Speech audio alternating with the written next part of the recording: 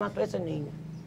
Yo lamento mucho, le pido perdón a España, que está primero fue el caso, le pido perdón aquí a la República Dominicana, que muchos han hablado, a su papá, a su mamá, a su abuelo y a todo. Que nos perdone porque nosotros somos una familia humilde y nosotros no tenemos que ver nada con eso, ni tenemos ningún problema aquí en Dominicana, que lo podemos caer a donde quiera. Nosotros no estamos tachados. No sé qué llevó esa muchacha a hacer eso, si fue por amor o por celo o por lo que.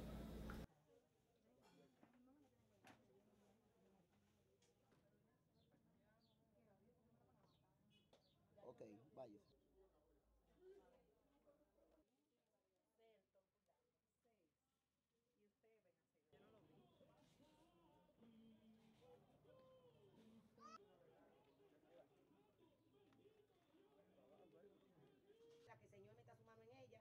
Y yo, si me dan permiso para ir yo, yo ir a España y estar con ella, darle apoyo. Tú no estás vigente ahora mismo. eh, tú- Yo no puedo, ahora mismo no estoy vigente, no tengo ni pasaporte ni vuelo porque hace años que vine.